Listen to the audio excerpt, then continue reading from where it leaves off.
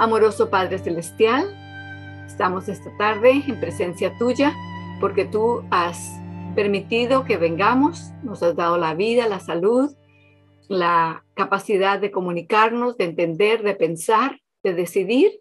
Y te pedimos, Señor, que uses todas esas cosas que tú nos has dado para agradarte, para servirte y para escoger servirte a ti y a nadie más. Abre nuestro, nuestro entendimiento. Danos de tu Espíritu Santo para que no solamente seamos oidores, sino hacedores de tu palabra también. Te lo agradecemos en el nombre de Jesús. Amén. Entonces, los versículos de memoria para esta tarde comenzaremos con Romanos 6:23, porque la paga del pecado es muerte, mas la dádiva de Dios es vida eterna en Cristo Jesús, Señor nuestro. El que le sigue a ese es Jeremías 29, 11, porque yo sé los pensamientos que tengo acerca de vosotros, dice Jehová. Él es el que nos está hablando y nos está diciendo qué piensa. Y dice pensamientos de paz y no de mal, para daros el fin esperado. De este entonces pasamos a Gálatas 5, 6, donde tenemos la relación correcta de acuerdo a la Biblia en cuanto a las obras y la fe. Y dice, porque en Jesucristo ni la circuncisión vale algo, ni la incircuncisión, sino la fe que obra por amor. De allí entonces, eh, esto fue en el capítulo 7 y decidimos aprendernos de memoria la definición de fe que encontramos en ese capítulo. Una definición práctica y es hecha en palabras mucho más contemporáneas, así que entonces repitamos. Fe es el confiar o esperar que la palabra de Dios hará lo que ha dicho y el depender de esa palabra de Dios, que ella por sí misma hará lo que ha dicho. Eso es la fe, esa es la fe de Jesús. Entonces ahora vamos a entrar a los textos que hemos escogido para el tema del santuario. El primero de ellos es Éxodo 25, 8, y hacerme han un santuario, y yo habitaré entre ellos. No solamente entre el pueblo, o cerca, sino quiere habitar entre nosotros, entre nuestras familias, nuestros hogares, nuestros, nuestras comunidades, nuestras iglesias, en cada congregación. Entonces, el Señor todavía está buscando que nosotros le, le permitamos hacer un santuario entre nosotros. El segundo de los del santuario está en Primera de Juan 1.9. Y aunque no menciona al santuario, por palabra, sin embargo se refiere a lo que encontramos en el atrio del, santuario. El, el altar del sacrificio y la fuente de agua. Entonces ahí encontramos primera de Juan 1.9. Si confesamos nuestros pecados, Él es fiel y justo para perdonarnos nuestros pecados y no solamente perdonarnos, sino limpiarnos de toda maldad. Esto es lo que vemos allí en ese atrio. Luego vamos a Salmo 68, 24. Vieron tus caminos, oh Dios, los caminos de mi Dios, de mi Rey, en el santuario. Entonces, esa fue precisamente la razón por la cual Dios dio la ilustración del santuario para que viéramos sus caminos, sus obras, sus proyectos, sus planes para nosotros. Vieron tus caminos, oh Dios, los caminos de mi Dios, de mi Rey, en el santuario. Luego, en Salmos 85, 10, se expresa lo que encontramos tanto en el arca que estaba en el lugar santísimo, como también en la cruz. La misericordia y la verdad se encontraron. La justicia y la paz se besaron.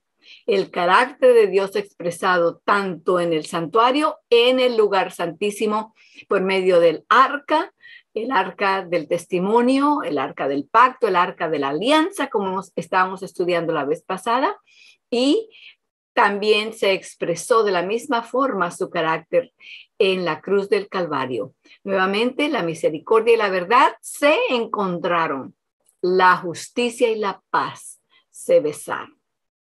Gracias a Dios por su carácter, el cual no cambia.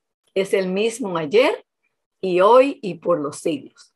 Entonces vamos a regresar ahora al estudio del santuario, el cual eh, comenzamos ya hace unas semanas, varias semanas, y empezamos, vamos ahora entonces al, al, a los slides o las diapositivas y queremos eh, repasar allí un poco las que ya hemos hecho para que entonces entremos al tema que vamos a ver esta noche. Necesito abrir aquí un momento. Lecciones del santuario o tabernáculo. Y eso es precisamente lo que estamos buscando. No solamente aprender la arquitectura del, del santuario o los materiales, etcétera, sino las lecciones espirituales que el santuario nos provee. hacerme a un santuario y yo habitaré entre ellos. Estábamos precisamente hace unos momentos em, explicando en cuanto a esto que Dios todavía está buscando tener un santuario en nosotros, en nuestros corazones, en nuestras mentes, donde Él pueda habitar. Allí tenemos el campamento y cómo se, em, se arreglaba todo, todo estaba en orden de acuerdo con la posición del santuario. Las tribus acampaban alrededor del tabernáculo y cada una tenía su lugar exacto y, preciso, sabiendo dónde estaba el tabernáculo. Así podían erigir sus carpas y sus lugares de, moradas. El santuario siempre estaba orientado hacia el oriente o el este y Em, tenía solamente una puerta de entrada. Allí vemos una de las lecciones en que Cristo es la única puerta. Él dijo, yo soy la puerta de las ovejas. Y también, además de esto, sabemos que Él es el camino, la verdad y la vida. Dijo Él, nadie viene al Padre. Cuando dice nadie, esto incluye no solamente a los seres humanos, sino también a todo ser creado, inclusive los ángeles. Nadie viene al Padre sino por mí. Las tres secciones del santuario, el atrio, el lugar santo y el lugar santísimo. Y aquí se ve por dentro la sección, las dos secciones de la carpa o santuario propiamente dicho y las paredes hechas de madera de acacia cubiertas con oro que reflejaban la, la luz. Afuera en el atrio habían solamente dos muebles, el altar del holocausto y la fuente de metal. Lo mencionamos anteriormente cuando repetimos primera de Juan 1.9. Y el, pueblo entraba solamente hasta el atrio. Allí traían sus corderos o uh, cabros, cabritos, generalmente eran pequeños, o algunas veces se traían uh, vacas y bueyes para las ofrendas, pero para las ofrendas de sacrificios eran generalmente un cordero, un macho cabrío, y el, el pecador, la persona que traía el sacrificio, confesaba su pecado sobre la, poniendo sus manos sobre la cabeza de la víctima, y así pasaba la culpabilidad del pecador a la víctima y la penalidad pues la llevaba a la víctima, que era degollada por la misma persona que la había traído. Así, haciendo memoria y haciendo presente de que la decisión a caer, a entrar en la tentación, no es a caer, no caemos, entramos en tentación, permitimos que, que la tentación nos lleve al pecado y por lo tanto la decisión que hacemos trae una, una consecuencia y la consecuencia la podían ver allí precisamente cuando tenían que degollar a la víctima. Las cubiertas del, santuario, la primera, la más, la interior, era de lino torcido con ángeles bordados en ella de diferentes colores, colores de realeza. La que le seguía era de pelo de cabra. Cada una de ellas era un poco más larga que la anterior. La siguiente era de pieles de carnero teñidas de rojo.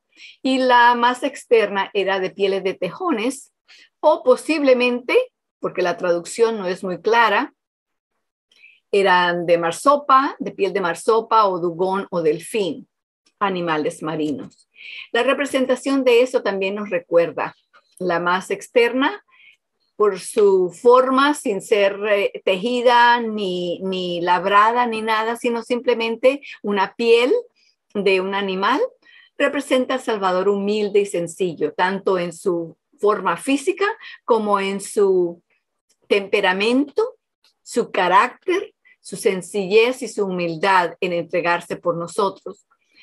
La que le sigue, el Salvador sacrificado e inmolado, la de pelos de cabra, un salvador puro y sin pecado, era blanca. Y la de lino torcido, con los colores de realeza, representa al Salvador exaltado y soberano, que hemos de verlo exaltado y soberano cuando regrese a buscar a su pueblo. En el lugar santo habían tres piezas, el candelero de oro, la mesa del pan de la presencia o de la proposición y el altar del incienso candelero de oro hecho de oro puro con siete brazos. Las mechas eran ah, alimentadas con el combustible de, aceite de oliva y su luz era la única fuente de luz para, el, para la carpa o el edificio del, del santuario. Como dijimos antes, la luz se reflejaba en las paredes y la luz nos recuerda allí que Cristo es la luz del mundo.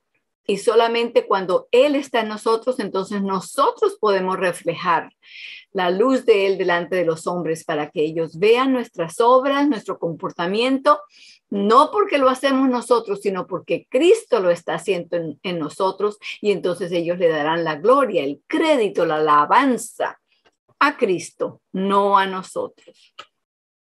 Al frente del candelero de oro estaba la mesa del pan de la presencia este pan se proporcionaba cada sábado, se cambiaba, se comía el pan antiguo y se ponía el nuevo.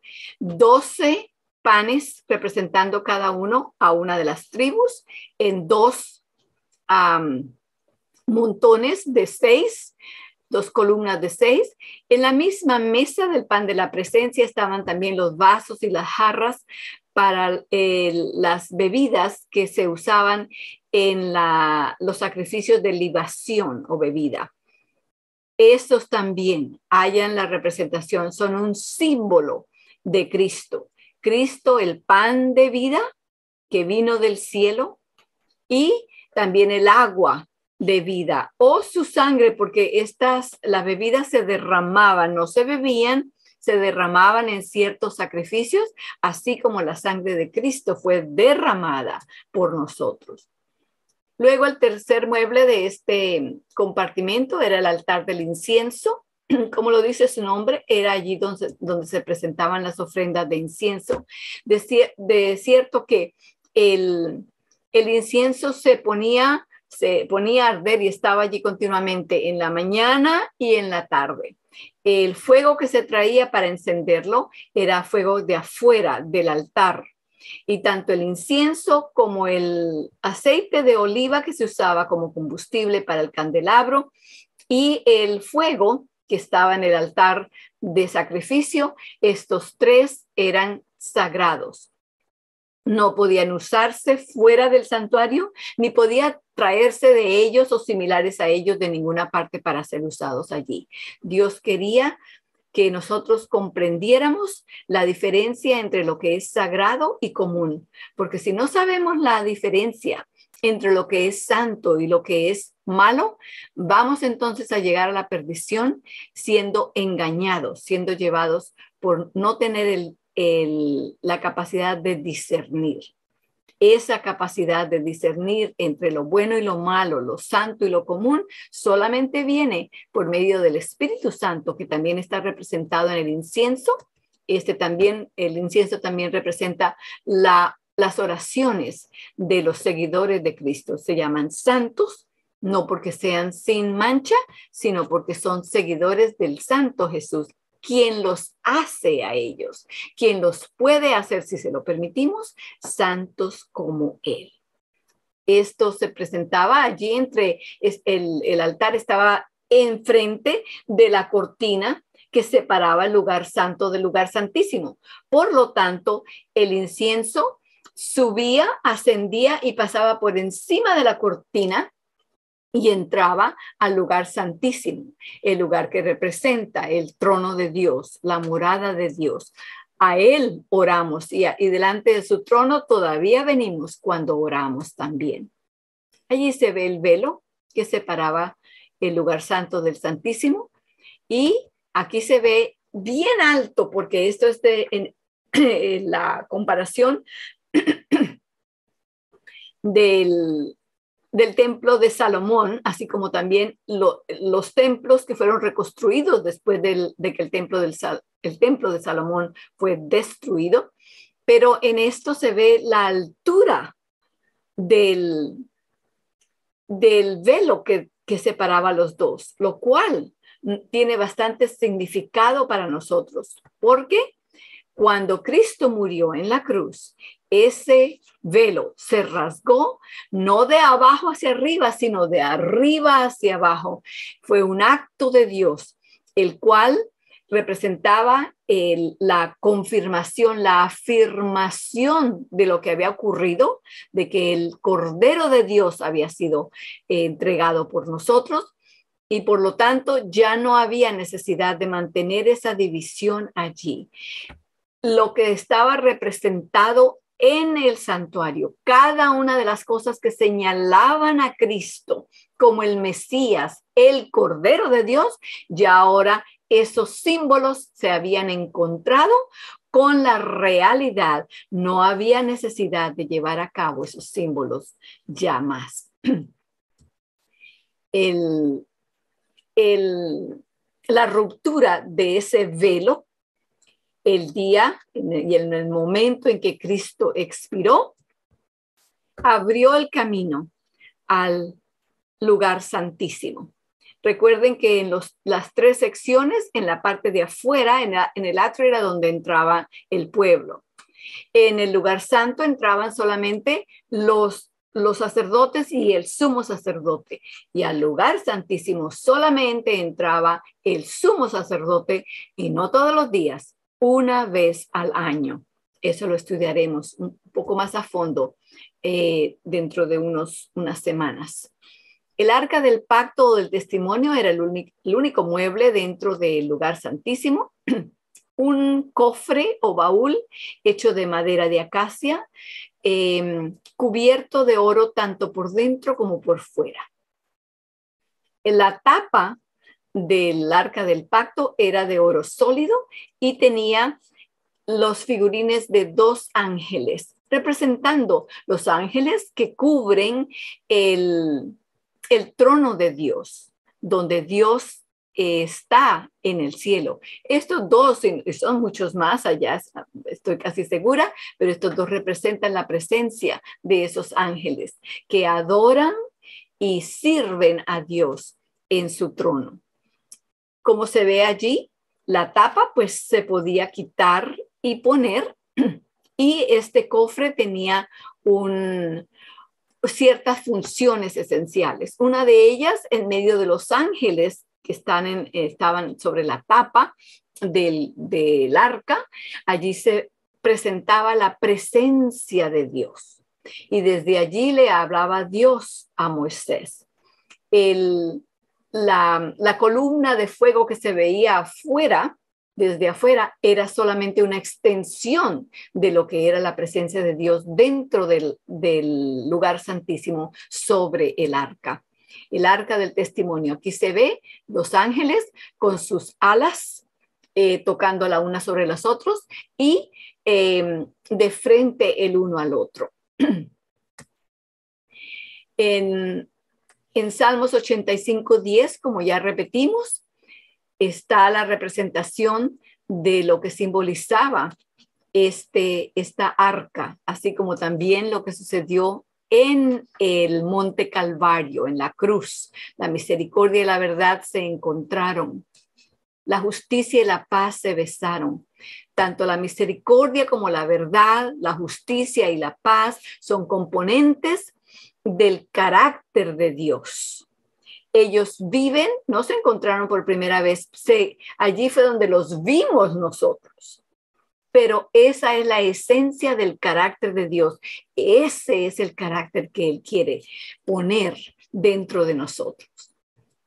Entonces, estábamos hablando la semana pasada en cuanto a la función principal por la cual el arca fue construida. Eh, la función de ese mueble era para colocar o guardar las tablas de los diez mandamientos. Estos vimos en varias em, en varios textos de la Biblia que estas tablas de la ley se llamaban las tablas de los diez mandamientos, pero más que eso, se titulaban, se, se les llamaba, se definían como el testimonio, las tablas del testimonio, las tablas del pacto, las tablas de la alianza. Y precisamente eso era lo que eran. ¿Por qué? porque eran un testimonio de lo que Dios es. El testimonio, el testigo del carácter de Dios. Allí está el carácter de Dios escrito en palabras sobre tablas de piedra. Estas fueron hechas así precisamente por Dios mismo y estudiamos ya en cuanto a esto mucho más detalles. Todo este repaso que hemos hecho es simplemente tocando muy por encima la superficie de lo que hemos estudiado. Así que vuelvo nuevamente a instarles a que regresen a los videos, a las grabaciones, para que puedan repasar y repasar y repasar para que estas cosas se hagan parte del conocimiento que pueden compartir con otros.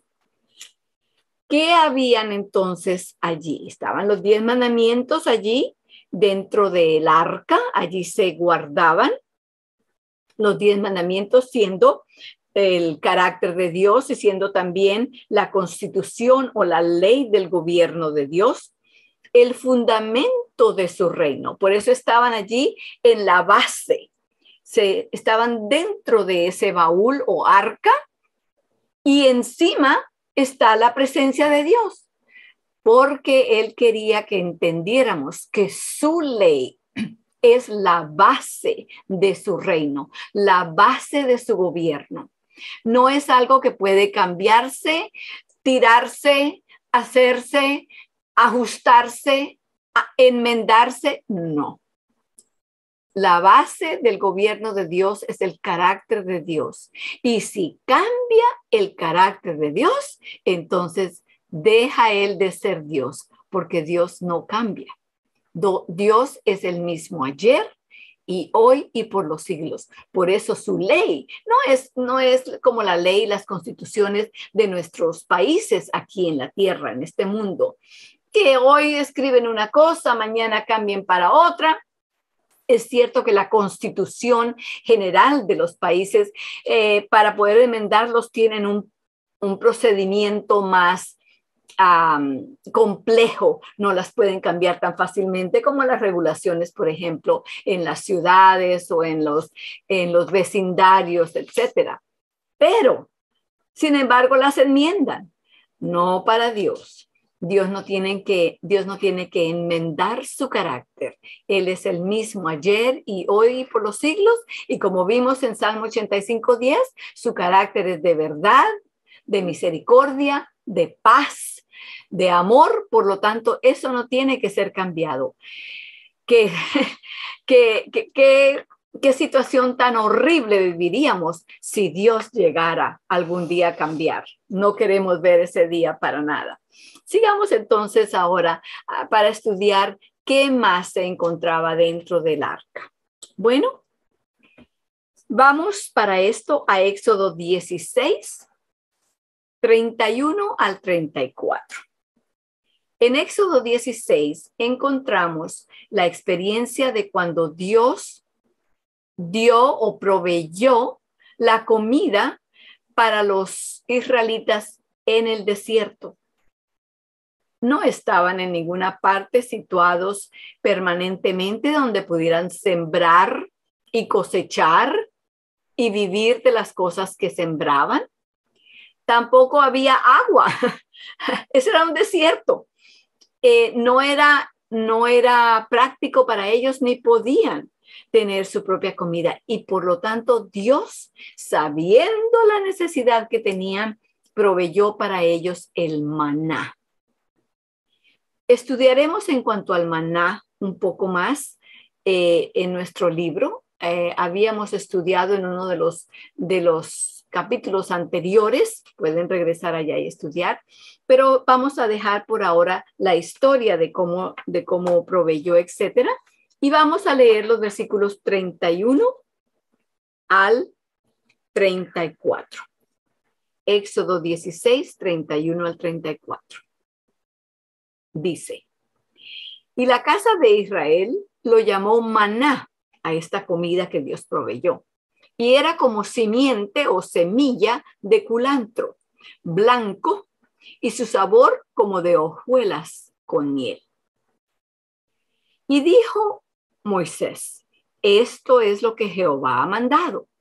Enchirás un gomer de él para que se guarde para, para vuestros descendientes a fin de que vean el pan que yo os di a comer en el desierto cuando yo os saqué de la tierra de Egipto. Entonces, estas son las instrucciones que Dios le había dado a Moisés en el monte mientras él estuvo ahí hablando con él. Y entonces le, le, dijo, entre otras cosas, que él debía guardar un gomer, que no, no recuerdo ahora cuánta, qué cantidad era, pero una cierta cantidad, una medida, debía guardar un gomer de eso para más tarde, para mostrarle a las generaciones futuras lo que Dios había usado como comida para ellos. Versículo 33. Y dijo Moisés a Aarón, toma un vaso y pon en él un gomer lleno de maná y ponlo delante de Jehová para que sea guardado para vuestros descendientes. Y Aarón lo puso delante del testimonio. Allí vemos las marcas, las tablas del testimonio, ¿verdad? Las tablas de los diez mandamientos, los puso allí para guardarlo, como Jehová le mandó a Moisés. Así que entonces dentro de esa caja donde estaban los diez mandamientos o lo que se llaman las tablas del, testimonio o del, de la alianza o del pacto, allí junto con ellas también estaba esa vasija con maná. ¿Se dañó? Una buena pregunta para hacernos, ¿verdad? No, no se dañó. ¿Por qué no se dañó? Porque no lo tuvieron que reemplazar todos los días? Porque recuerden que el, maná que Dios les dio lo daba diariamente y si ellos lo guardaban para el día siguiente para no tener que salir a recogerlo, ese maná se dañaba. Sin embargo, el viernes, cuando Dios lo daba, el sexto día, lo daba y ellos tenían que tomar doble porción para guardar, comían la mitad de ello y guardaban la otra porción para el día de sábado, porque el día de sábado no caía, no había maná. Dios no proveía ese día el maná, lo proveía el día anterior y no se dañaba esa noche. Esa noche podían guardarlo y no se dañaba.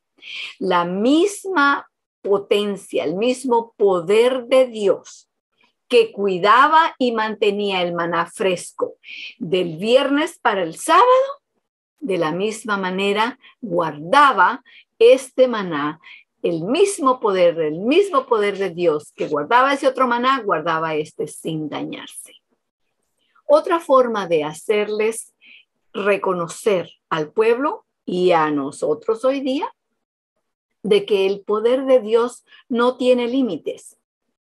Los únicos que podemos limitar el poder de Dios somos nosotros, porque si no le permitimos hacer algo, si no le damos la autorización de que transforme nuestro carácter, nuestras vidas, Él no lo puede hacer.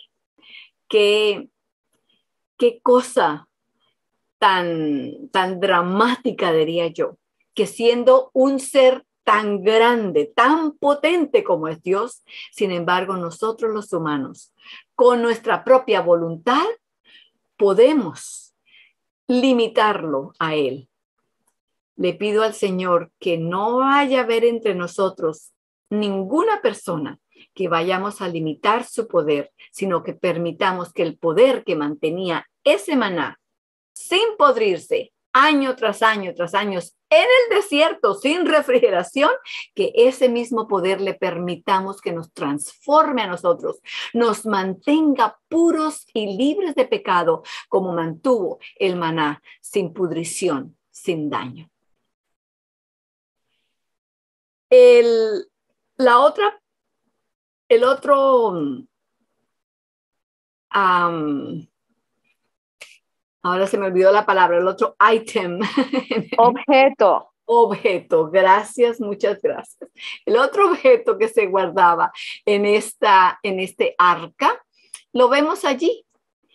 Eh, si conocen, tal vez reconocen lo que se ve allí, son almendras. ¿Por qué se guardó ese allá?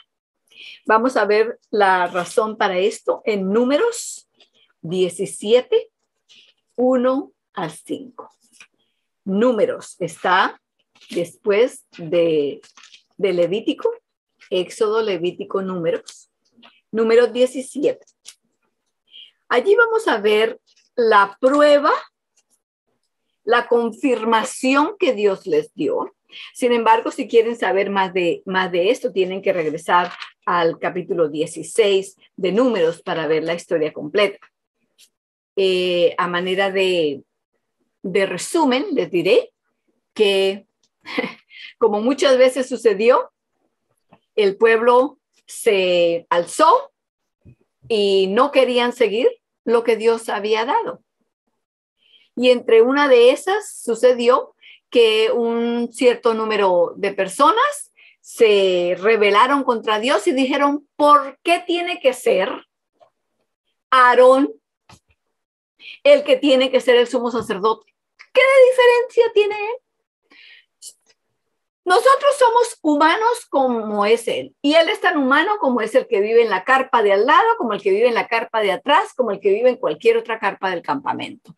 No dijeron estas palabras completas ni exactas, pero eh, se rebelaron contra Dios.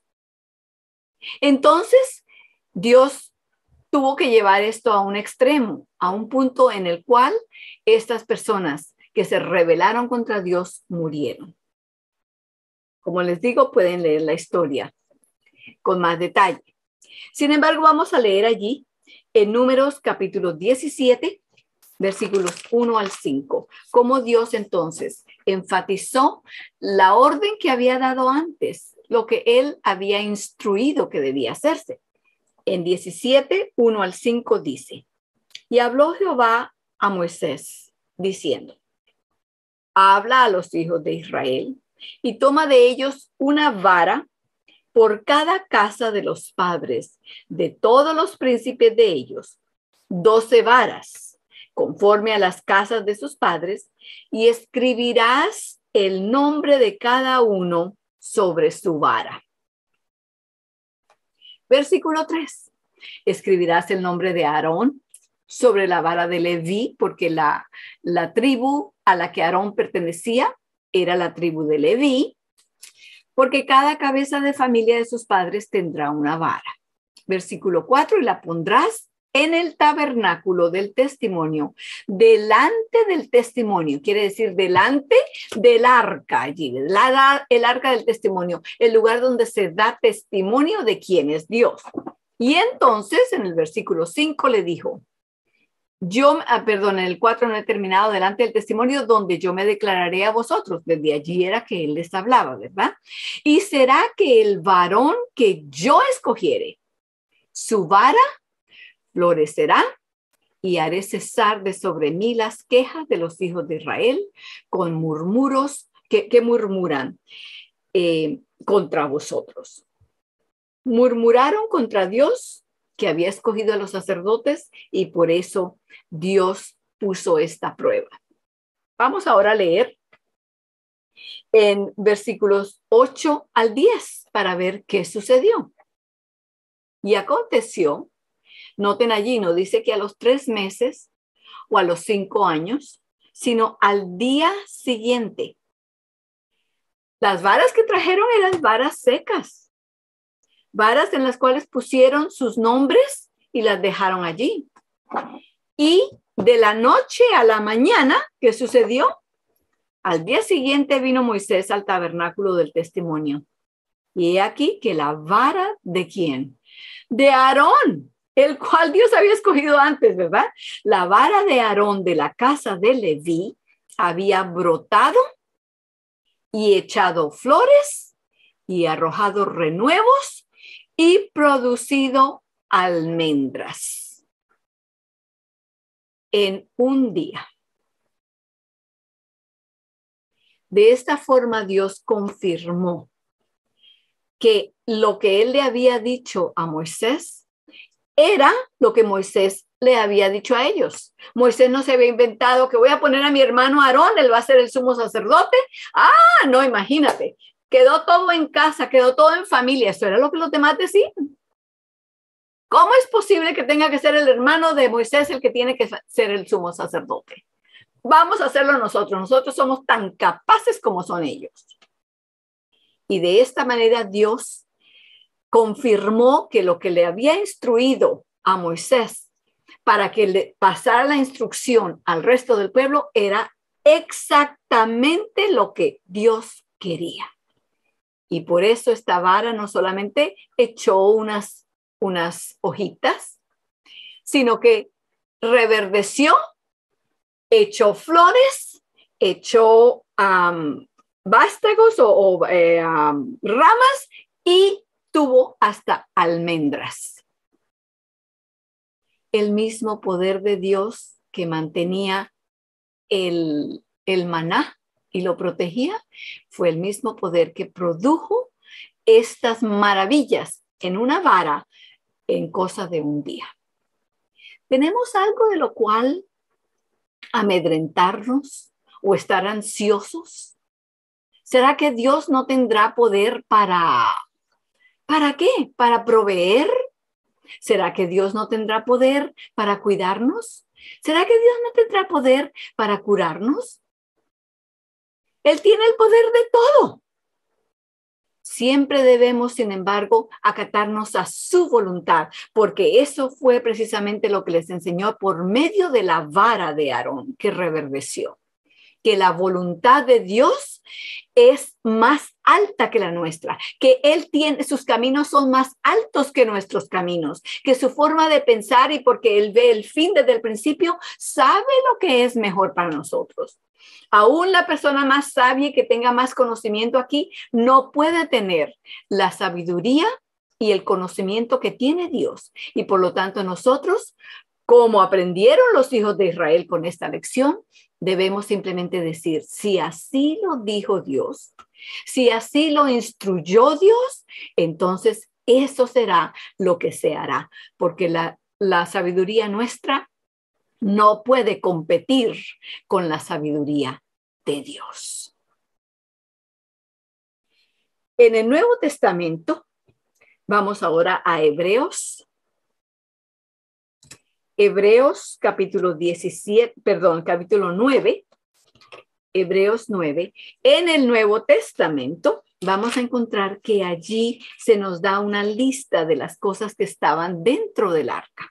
Así que se sabía muy bien, lo conocían muy bien y por eso el apóstol Pablo, que es el autor del libro de Hebreos, en el capítulo 9, versículos 3 al 5 nos dice lo que encontramos, lo que deberíamos de encontrar en el santuario. 9 del 3 al 5.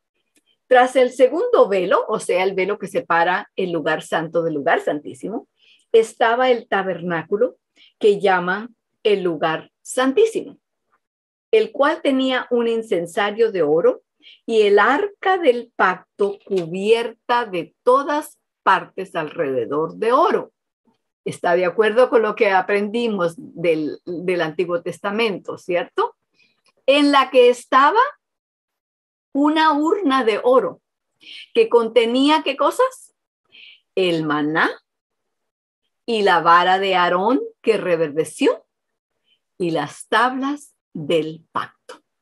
Y sobre ella, como vemos allí la tapa que está quitada por ahora, ¿verdad? En esa, en esa representación. Y sobre ella los querubines de gloria que cubrían el propiciatorio, de las cuales cosas no se pueden ahora hablar en particular entonces concuerda exactamente con lo que aprendimos de las instrucciones que Dios le dio a Moisés en cuanto al santuario, cómo construirlo y qué muebles poner allí. Nos queda apenas unos minutos y quiero entonces usarlo para hablar de otra cosa algo que estaba no dentro del arca, pero estaba en el lugar santísimo y eh, para esto, vamos a Deuteronomio 31. Deuteronomio 31. En el Antiguo Testamento, el quinto libro, Deuteronomio 31. Y vamos a leer del, del versículo 24 al 26. 31, 24 al 26. Y dice, y como acabó Moisés de escribir las palabras de esta ley en un libro, así que esta ley no es, por la misma descripción que leemos allí, no es la ley de Dios, porque la ley de Dios no estaba escrita en un libro, estaba escrito en tablas de piedra escritas por el dedo de Dios, ¿verdad? Entonces, esta no es la misma ley, sigamos leyendo. Mandó Moisés a los levitas que llevaban, perdón, tomad este, perdón, me, perdí. Y cómo acabó Moisés de escribir las palabras de esta ley en un libro, hasta concluirse, mandó Moisés a los levitas que llevaban el arca del pacto de Jehová diciendo, tomad este libro de la ley y ponedlo al lado del arca del pacto de Jehová nuestro Dios y esté allí por testigo contra este libro, que en ese tiempo los libros eran rollos, más o menos como el que vemos allí, este libro no se puso dentro del arca. ¿Dónde dice la instrucción que debía ponerse? Debía ponerse al lado, al lado del arca del testimonio. En otras de las versiones dice junto al arca. Y los dos términos usados en, en las versiones en español, tanto al lado como junto, no quieren decir dentro. ¿Cierto? Así que estemos claros en cuanto a esto. ¿Por qué? ¿Por qué es importante? Bueno, porque era una de las cosas que se encontraban dentro del lugar santísimo y porque hay cierta confusión en la que, y voy a referir, hacer referencia solamente a Colosenses 2.14, donde se dice que estas cosas fueron clavadas, clavándolas a la a la cruz. Entonces hay personas que leen ese, ese versículo en Colosenses 2.14 y enseñan de que la ley de Dios fue clavada a la cruz y por lo tanto ya no hay necesidad de guardarla. Se abolió. Eso no es, de eso no era que estaba hablando. Estaba hablando allí en Colosenses 2.14 en cuanto a este rollo, el rollo que está fuera del arca, junto al arca, al lado del arca. Este rollo contenía ritos, eh, sacrificios, días de fiestas santas o, o convocaciones, las instrucciones en cuanto a todo eso que eran em, ritos y fiestas y convocaciones que señalaban lo que iba a suceder. Por lo tanto, ya no había necesidad de eso. ¿Qué pasó cuando Cristo murió? El velo se rompió. El, el animalito, el, el cordero que estaba por sacrificarse, a la hora que Cristo murió, no fue sacrificado. ¿Por qué? Ya el Cordero de Dios había muerto. No había necesidad de más sacrificios que señalaran que Cristo iba a venir a morir. No. Entonces, algunas de las fiestas, por ejemplo, y esas las encontrarán en Levíticos 23 del 432, las fiestas de la Pascua, las fiestas de pan sin levadura, los primeros frutos, las semanas, las trompetas, las fiestas de expiación, del día de expiación y las fiestas de las cabañas. Esas son cosas que ya no se necesitan, ya no, no, debían hacerse más, no necesitaban, no era que no debían, no necesitaban ser hechas más, habían pasado a la historia porque ahora la, lo que representaban, eh, la realidad había ya sido cumplida. Entonces dejaremos hasta allí nuestro estudio y regresaremos la próxima vez para estudiar las vestiduras del sumo sacerdote.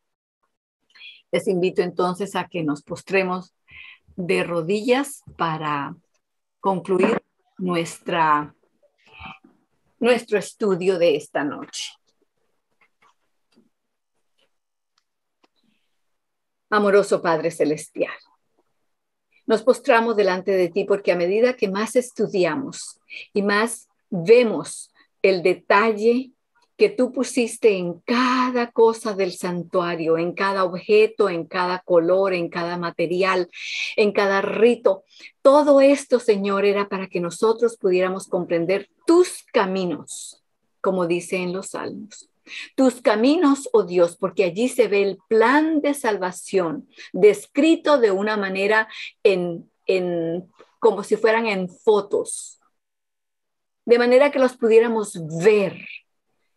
Y todavía hasta el día de hoy, tú sigues tratando de encontrar la manera de que nosotros comprendamos qué es la salvación, qué es el plan que tú tienes, cómo tú puedes justificar a un pecador, cómo puede ser justificación por fe, cómo tú puedes convertir a un pecador, un pecador ejercitado en el pecado, con experiencia en el pecado, y transformarlo a la manera del carácter perfecto de Cristo. Solamente tú puedes y por eso dejaste tus caminos para que los viéramos en el santuario. Permite, Señor, que nuestro corazón sea el lugar donde tu santuario pueda habitar y así tú puedas hacer la transformación en nuestras vidas para prepararnos para que podamos estar de pie cuando Cristo regrese. En el nombre bendito de nuestro Salvador te lo pedimos. Amén.